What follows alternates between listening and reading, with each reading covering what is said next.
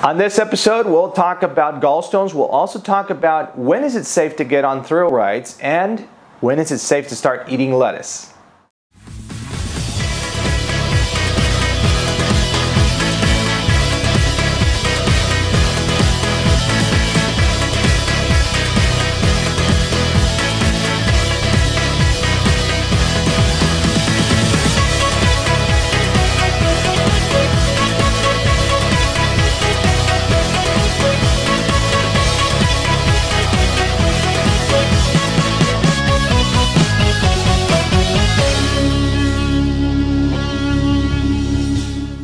Hello everyone, this is Dr. Alvarez from endobariatric.com and this is episode 52 of the Ask Dr. A show.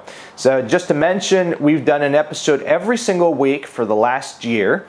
So that means 52 weeks in a year. This is episode 52. This is our one year anniversary episode. So thank you so much for submitting questions. Don't forget to submit your questions using the hashtag AskDrA and also don't forget to add, add me on Snapchat. That way you can uh, send me your questions through Snapchat as well. Let's get into the show.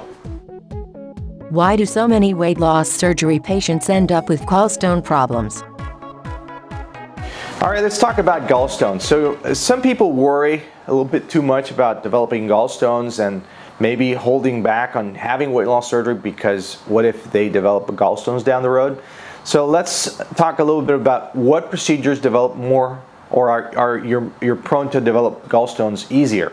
Number one, uh, malabsorption procedures like uh, pr procedures that you uh, lose really rapid, very, very fast weight loss like uh, gastric bypass, duodenal switch, uh, uh, so on and so forth. So, but not, not, not so much with the gastric sleeve, which is a more restricted procedure, does not involve the malabsorption procedure. Doesn't, ma doesn't mean that you won't develop gallstones down the road. I tell patients, Look at it this way. If you were prone to have gallstones at any point in your life, the weight loss will actually precipitate or you'll develop the gallstones sooner.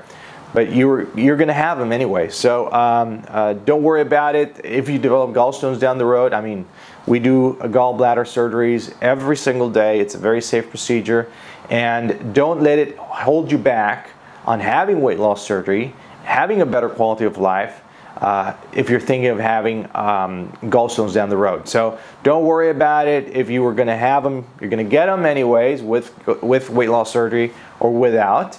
Um, and it's like people who worry about the, the saggy skin after surgery and they hold off because they're worried about the, the saggy skin down the road. Come on. I mean, you're looking at having a better quality of life, living longer, better, and you're holding off because you're going to have a little bit of saggy skin. Don't worry about it, take the step and enjoy the ride. When can I get in thrill rides?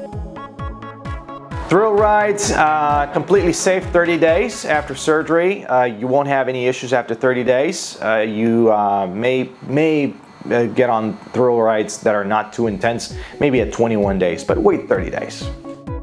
When it is safe to add the lettuce salad options. All right, to add lettuce to your uh, to your diet, uh, I would uh, make sure you check with your surgeon and his programs. In our program, it's 21 days. So after 21 days, your stomach is healed. You can start adding some soft food, including some uh, some salad, some some lettuce. All right. So, but I don't want to interfere with your surgeon's program. Make sure you're following his hers uh, guidelines, and you won't have any issues.